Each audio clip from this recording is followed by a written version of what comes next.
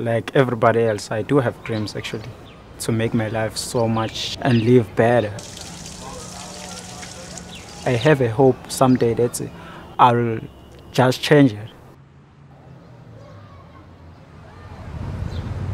I had a problem for breaking down because of having a TB and I was seriously sick.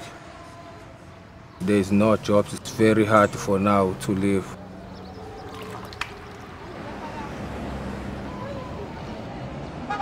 HIV and AIDS, it's affecting so many people right here.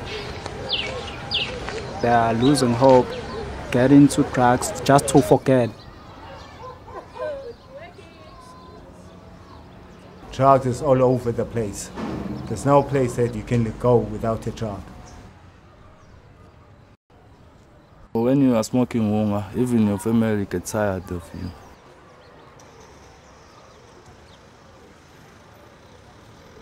Having nobody to help, coming to that kind of situation. The reason why the kids were sick is because of starvation.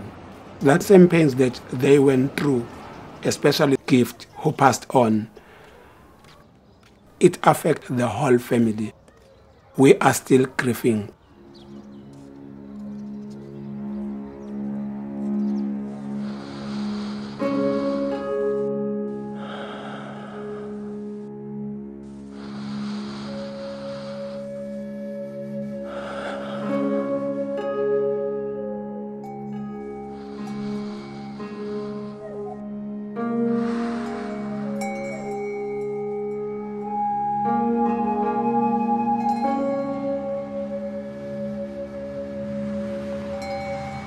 Yoga, it's not about stretching myself, being flexible now.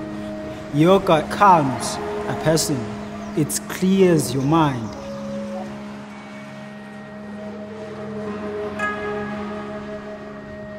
It takes down all the hatred. It makes me believe more in myself and it makes me focus in whatever I'm doing.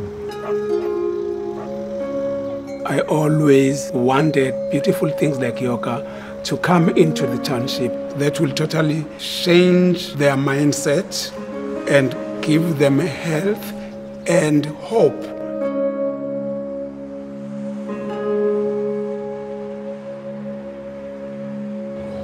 I never realized that yoga can be around me.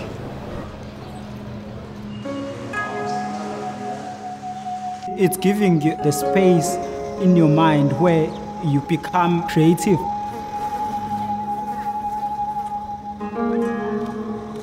I may live in this place, but my mind isn't living here. It has changed me already, and it will continue to change me.